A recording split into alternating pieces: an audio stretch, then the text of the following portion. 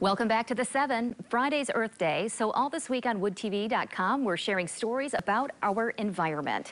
We told you earlier this week how more people in our state are recycling, but it's important to make sure you're doing it right. So our team broke down some of the top mistakes people make. And one of the big mistakes is wish cycling. Okay, this is the items that we want to recycle, but we just can't. That includes things like styrofoam, metals, and plastic lawn furniture, also some non-recyclable glass.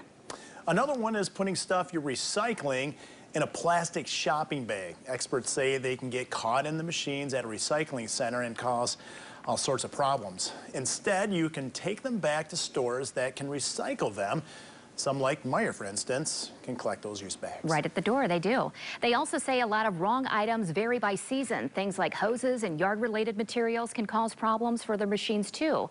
Some, like propane tanks and pool chemicals, they should be taken to a household hazardous waste program.